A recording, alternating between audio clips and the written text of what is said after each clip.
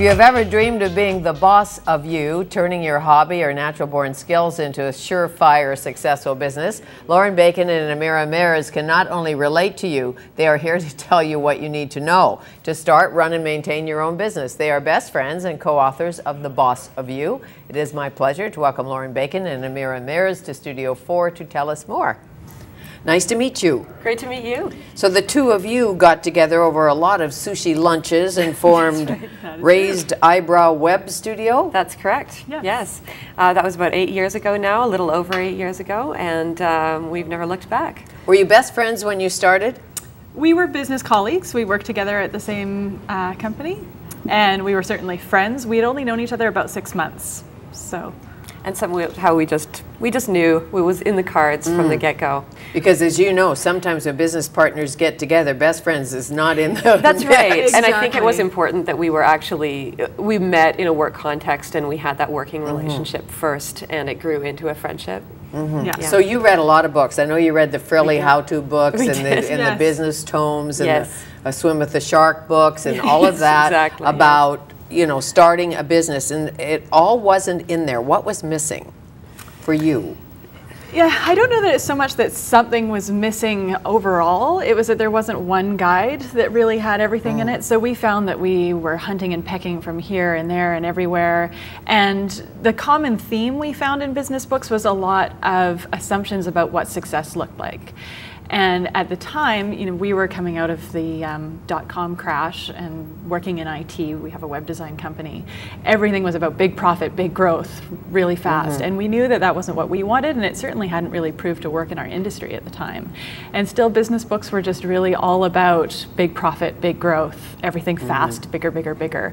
And for us, success was just having a job we really loved, working with clients we loved, getting paid what we were worth but that wasn't the only mm-hmm. piece of it. So values are in the mix here. Yeah, they what were. I value. Yeah, and I think you know values are going to vary from one person to another. It's mm-hmm. always going to be a very personal and intimate thing. And so what we really encourage is that the first step in creating a business is to define what success looks like for you. So define and your vision. Exactly. Yeah. Because Why are you going into it? Yeah because for some people it's going to be a matter of you know wanting to leave at five o'clock every day and mm-hmm. have your weekends free. I mean that could be a very clear measure of success. For other people it's going to be grander or it might be you know that they have a particular mission in mind in terms of where they want to funnel their profits. It's going to vary from sure. person to person. So when you define your vision uh, if you want to go home at five and not work weekends you don't start a restaurant. Exactly. It's that simple. Yeah. Exactly. Yeah, yeah.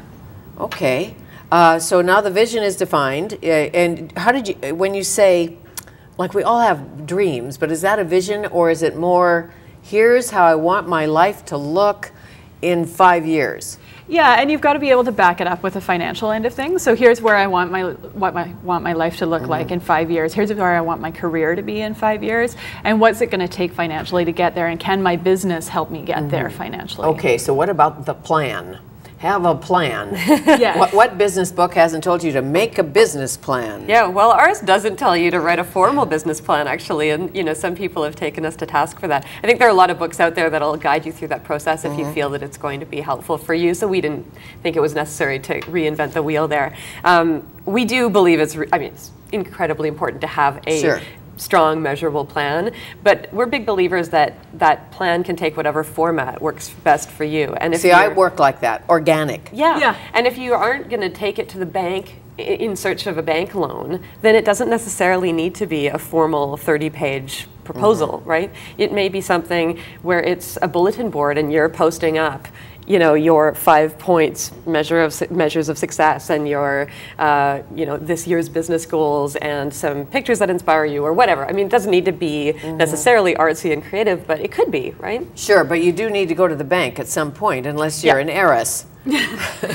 That's right. Yeah. yeah. Yeah. But what we found is that a lot of women entrepreneurs actually are starting businesses very small and starting with their own savings or just using their own personal credit to start their businesses and aren't necessarily going and taking huge financial risks. They aren't necessarily yeah. starting out by looking for investors. They may start their business small, grow it slowly and sustainably over a few years, and then they may reach a point where a few years in, mm-hmm. that's the point where they start looking at a larger scale of growth. So when it's time to set up shop, Yes. turn your chutney into a An must-have in every Yes. kitchen. Yes. Ch- Yeah. Turn your chutney into an empire. Uh, what's the next step? You you always have to know the competition. Yes. Yes. Yeah. Yeah, you have to know your competition. I mean, you've got to get your marketing plan in place. You do if when you're going into creating a product, financing is often really important. So if mm-hmm. you're following that realm, you have to do that. You also need to figure out what you need to do in your city or your province or state, wherever you are, around business regulations. So mm-hmm. a great way to do that that every government has usually a small business office that you can go to and get Right. that kind of information, figure out what Okay. you need to do around that. I have a friend who uh, invented Gone Crackers. Oh, Oh, yes. I was the test monkey for Gone Crackers when they weren't as good as they are now. Yes. But she she worked and worked and worked and sampled and checked the market and Yeah. it's like Yeah. failing up. And we're, I'm talking to a woman on Monday who wrote a book about failing up. Yeah. But yes, you're going to fail and you're not going to have any idea how to manufacture a cracker when you decide to expand.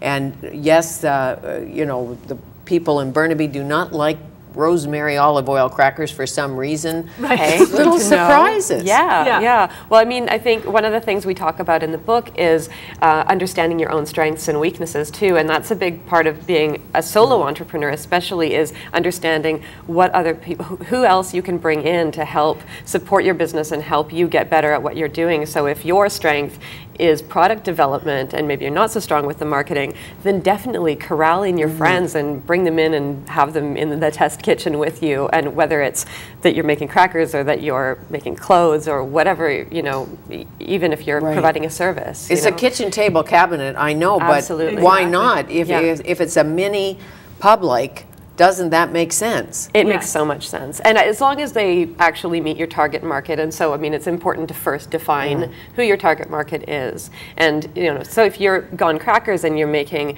a premium cracker product, you know, you aren't necessarily marketing to, you know, moms who are making their kids lunchbox. You're marketing to foodies. So bring in your friends who love food. right? Exactly.